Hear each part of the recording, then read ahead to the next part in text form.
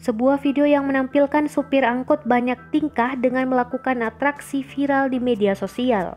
Adapun unggahan video tersebut diunggah salah satunya oleh pemilik akun Facebook M Ilham di grup Facebook Motuba. Dari video yang beredar, terlihat supir angkot melakukan atraksi dengan duduk di jendela saat kendaraan sedang melaju. Tak berselang lama, angkot berwarna merah itu oleng ke kanan dan menghantam kendaraan yang melaju dari arah berlawanan. Berdasarkan petunjuk dari narasi di atas, lokasi kejadian berada di Kabupaten Cianjur, Jawa Barat. Mengonfirmasi kejadian tersebut, Kompas.com menghubungi Kanit Laka Satlantas Polres Cianjur, Ibtu Anjar Maulana. Saat dikonfirmasi, Anjar membenarkan adanya informasi kecelakaan yang viral di media sosial tersebut.